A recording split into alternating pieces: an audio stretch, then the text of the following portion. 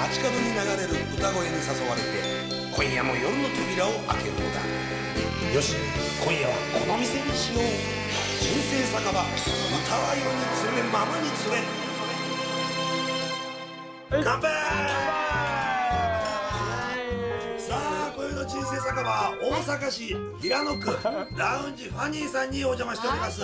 ありがとうございます。どうもどうもマスターだよ。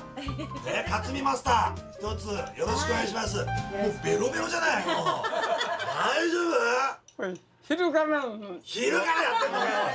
じゃあちょっと服部さんこのお店の資料の方よろしくお願いします、はい、えー、マスター歴三十三年ということでございます。33年か。やったね。あの初めはねスナックでアルバイトをされてたらしいんですよ。おうおい。やサラリーマンで。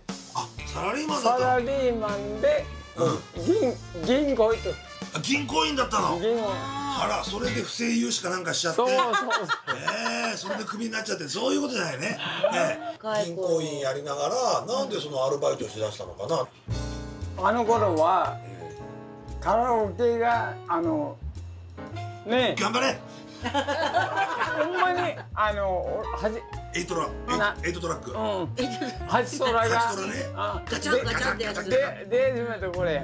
えで僕歌好きやねん。は歌好きなの？大好き。どんな歌手が好きだったんですか？歌い手さんで。うーん。いつきと前川かな。五木と前川呼ばわりですよね。友達みたいなもう絶ね。対服部さんじゃ言えない呼び方ですよね。言えない前川。前川。言えない。言え言いませんよ。いやまさにファニーなおあ店ですあよそういうこと。だからお店の名前がファニフー。ァニーなんだな。マスター今おいくつなの？73 73だよ。で昔は結構ねこの後ろにバイクのポスターそうなんかあるハーレー乗ってて。ハーレー乗ってたんですか？かっこいい。ね本当だ。え。すごい。今はもう車椅子寸前っていう感じ。本 当に。同じ車輪で車は車でもね。もう本当元気でいてくださいよマスター。そんなマスターがね今日歌ってくださる歌は何だい？夜空を歌う夜空。うん。五木のひね。ひろしさんのね。五木の。五木の夜空を。ちょっと待って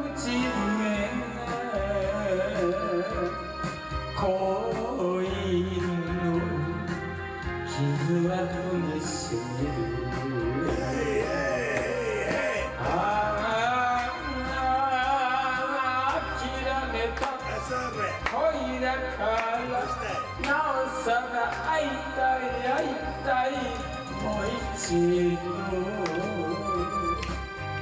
夜はいつも一人ぼっち87.953点。お見事。